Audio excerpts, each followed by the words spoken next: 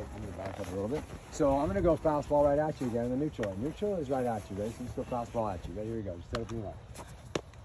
Okay, nice. Here we go. Now we're gonna go back then. As my hand goes back, he's gonna drop step. Okay, right there. Boom. Okay, and he's gonna if he if he if I throw it right at him, he can actually field into it. Okay, but if it's taking him away to where he's going, what is he gonna do with his feet? His feet need to continue to move. Very few infielders do this. As the ball takes me back, watch. I'm not gonna reach. Look, am I in position now to throw? I'm totally out of position. I'm not balanced. I caught it.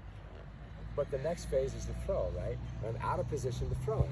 Okay, so I caught it, so now I have to try to regain balance, okay? And also I have no adjustability because now my hands and feet are not working together. So if I move my feet with my hands, now look how quick I can throw it, okay? It's like, my feet did what? They moved with what? They moved with the ball.